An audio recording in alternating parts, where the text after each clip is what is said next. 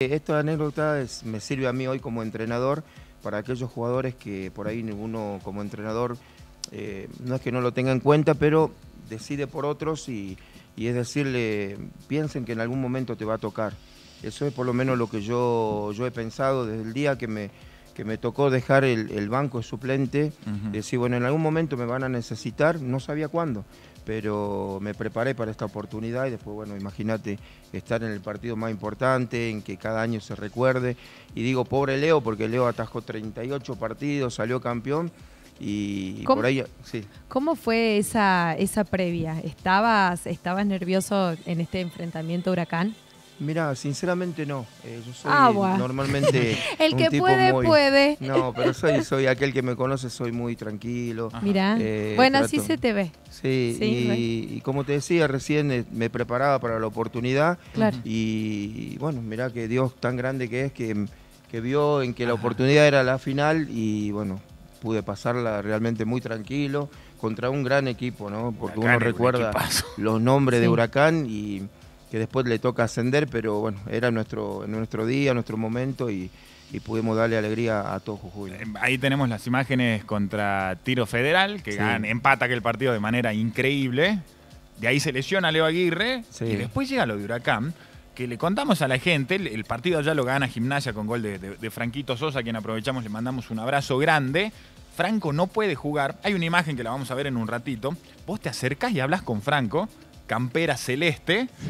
Eh, y de ahí, Huracán acá no hace nada. Pero en un momento hay una pelota que va arriba y que parecía que se metía oso. Y lo que estábamos en la cancha, empezamos a rezarle. A San Expedito, a Santa Marta, a San José. Y la sacá ahí arriba. Complicadísima. Sí, sí, son. Y Ahí es, la Franquito. imagen, ahí está el gol de Franco. Es la imagen que, que da vuelta y que tanto recuerdo. En ese momento, bueno, ahí está cuando Franco le decía, porque claro, habíamos terminado ganando y él eh, no festejaba porque, claro, estaba, estaba bajoneado porque sabía que había llegado la quinta amarilla Ajá. y no iba a poder estar en la final. Pero bueno, ahí está, está ahora se va a ver la, la imagen del- de lo que vos decís. Ahí está, mira, justo.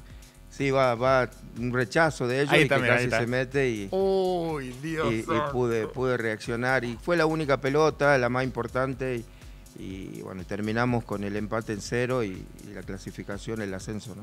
Eh, hay, hay oso hay algo muy particular, porque le contamos a la gente y, y seguramente también Checho va a ahondar en, en ese tema. Sí. Por ahí Mario Gómez termina volcándose por José Campi, algo que pasaba antes, porque es más alto José.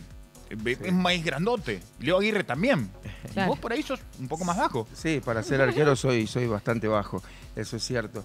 Eh, y después, bueno, yo integré en el cuerpo técnico de, de Mario y, y- y ellos entre broma y broma me dijeron un poco cómo fueron las cosas. Claro, cuando ellos llegan a, a gimnasia, estaba Leo Aguirre, un metro noventa, y preguntan, y, y coronel cuál es? Y cuando me vieron de un metro setenta y cuatro, eh, claro, Mario venía de ser el ayudante campo de Cooper de Inter de Claro. Italia. Claro. Imagínate, todos los arqueros, metro noventa para arriba, y me ve a mí, eh, Digo, no, ¿qué- qué dice, hago acá? necesito un arquero urgente. Y ahí es cuando lo trae a José, que también estamos hablando de un arquero que es muy alto. Y bueno, después nos fuimos conociendo, de hecho eh, me gané un contrato un día antes que juguemos la primer final, esto pocos lo saben, eh, se acercó y me dijo, mira, yo ayer firmé el contrato. Si ascendemos o no ascendemos el año que viene, soy el técnico de gimnasia. Claro. Y uno de los jugadores que quiero que esté dentro del vestuario sos vos. Mirá. Pero por todo lo que yo me había ganado en el día a día, ¿no?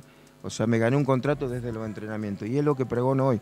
O sea, qué importante es entregar en el día a día todo para que el técnico que no me conocía y que un poco me sacó, eh, después me valore y me, me tenga como un- una persona importante dentro del vestuario.